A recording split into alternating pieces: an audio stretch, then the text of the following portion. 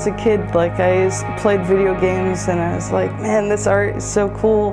And, and I would always draw and stuff like that. And then later on, I realized, oh, you can make art for video games. And that was like super exciting. So I just kind of like from that point on focused on that. Uh, it was it's funny, I talk to people that don't know what to do with themselves, and I've always been kind of driven towards that goal. Like, once I discovered it, it's like, that's what I want to do.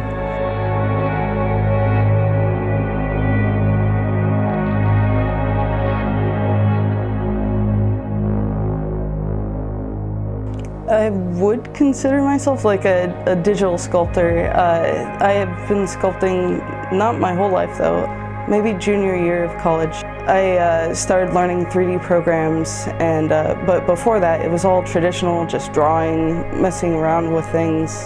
I started off learning Maya, but wasn't always a huge fan, and I ended up self-teaching myself 3D Studio Max. And then from there, I taught myself ZBrush, and ZBrush is like the best. It's good for everything almost.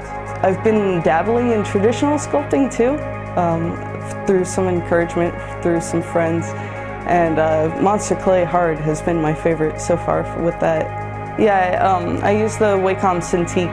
Uh, I used to use the Wacom's tablets, but there's always that disconnect from when you're drawing and you're looking at the thing. Being able to like draw and see your stroke is such a huge difference. You don't end up drawing the same stroke over and over and over to get the line you want. I love creatures creatures all day, every day, dragons especially. I don't know why dragons, uh, when I was a kid, I liked horses and then horses became dragons and it's just stuck. Like, they're just fascinating. I love reptiles in general. I actually have like a hobbyist breeding reptiles. I don't know.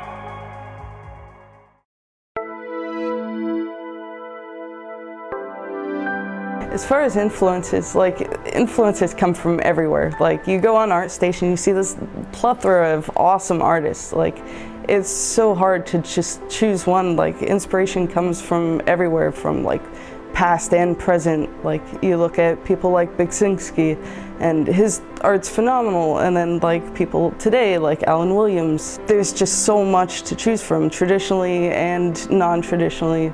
It's a great time to like be an artist.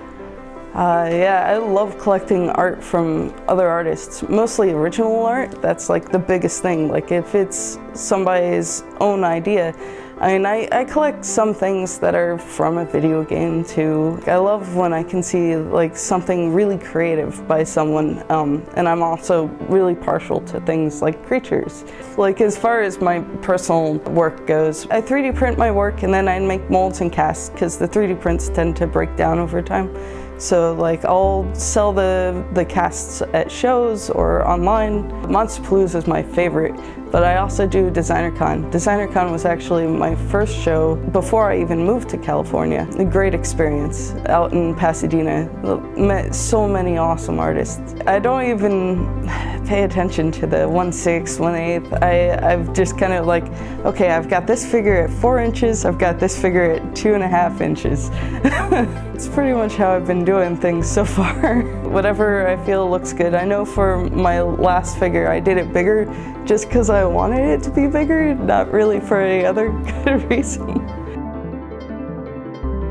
The Cerberus I had at Monsterpalooza, it was actually, I was pretty happy with how that turned out. It was a lot of fun to make. My most proud of ever was the Chaos Tzeentch Dragon I made for Total War Warhammer. I love that thing. It was so much fun to work on and just so much me. Like, I love Warhammer Tzeentch and dragons. It was just the perfect task. It's funny, as far as work goes, my mom thinks I make the entire video game. And a lot of people are baffled. People think that I just hit a 3D print button and I'm done. I don't have to do anything else. There's so much more work to it than that. I've got a Facebook and an Instagram. I'm more active on Instagram. You can message me. I actually check my messages. I sell casts of my 3D prints and I'm starting to do uh, casts of my traditional stuff that I plan to sell as well. I have a website www.crystelschimeras.com. It's spelled Crystels is spelled with an E. It's my name. What advice would you offer aspiring artists? Stay focused, stay disciplined. One of the biggest things I see people asking when they want to be an artist is how do you stay motivated? And really, the motivation should just come from yourself. Like, that's more a discipline thing. If you keep trying, keep learning, you'll get there. Like, just be stubborn about it.